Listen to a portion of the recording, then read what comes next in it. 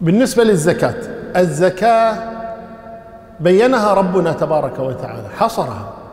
إنما الصدقات للفقراء والمساكين والعاملين عليها والمؤلف قلوبهم وفي الرقاب والغارمين وفي سبيل الله وابن السبيل فريضة من الله.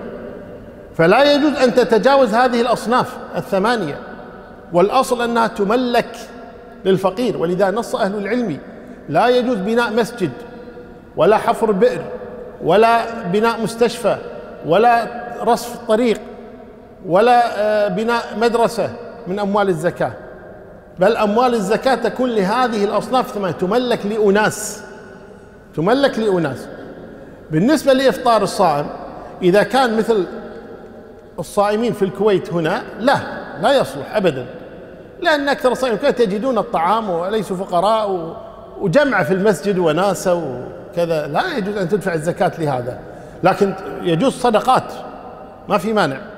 أما إذا كان هؤلاء الصائمون فقراء مستحقون للزكاة فيعطيهم يطعمهم والأفضل أن يعطيه المال بيده.